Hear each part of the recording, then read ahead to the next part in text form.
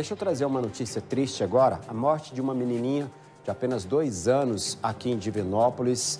E a Polícia Civil vai investigar o caso. Ela foi encontrada pelo pai já sem vida dentro de casa em Divinópolis durante a madrugada. Vamos ver os detalhes. Parentes e amigos acreditam que a morte da menina de dois anos tenha sido uma fatalidade. A criança morreu em casa, no centro de Divinópolis. O SAMU chegou a ser acionado. A nossa equipe do SAMU deslocou imediatamente para o local da ocorrência, né? E foi constatado o óbito, né? Chegando é, de encontro aos familiares que estavam junto da criança. E Infelizmente, não tinha mais o que fazer, já com sinais tardios de óbito.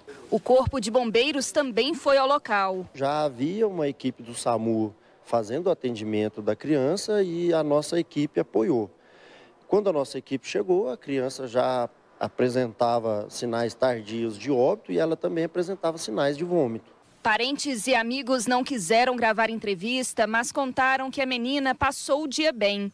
A Polícia Militar disse que, no primeiro momento, os pais relataram que a criança começou a passar mal na sexta-feira e que, antes de dormir, foi medicada. Por volta de 5 horas da manhã, o pai, de 42 anos, foi conferir como a filha estava e a encontrou com o rosto voltado para o travesseiro e já morta. Coloração do corpo, né, de, de um óbito a, de, depois de algumas horas ou o tempo que foi, né, ele muda a coloração.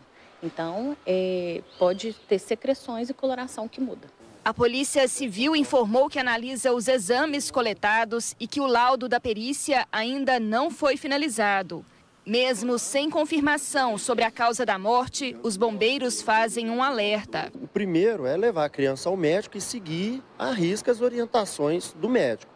Qualquer problema que a criança venha apresentar, faça um contato com o médico procure novas orientações é, manter uma vigilância constante dessa criança, porque ela pode vir a ter um agravo né, da saúde. O SAMU e os bombeiros disseram que casos de engasgo envolvendo bebês e crianças são mais frequentes do que se imagina. Em época de férias escolares, então, o número de ocorrências envolvendo crianças aumenta consideravelmente. Recentemente, um bebê morreu em Divinópolis após se engasgar com leite materno.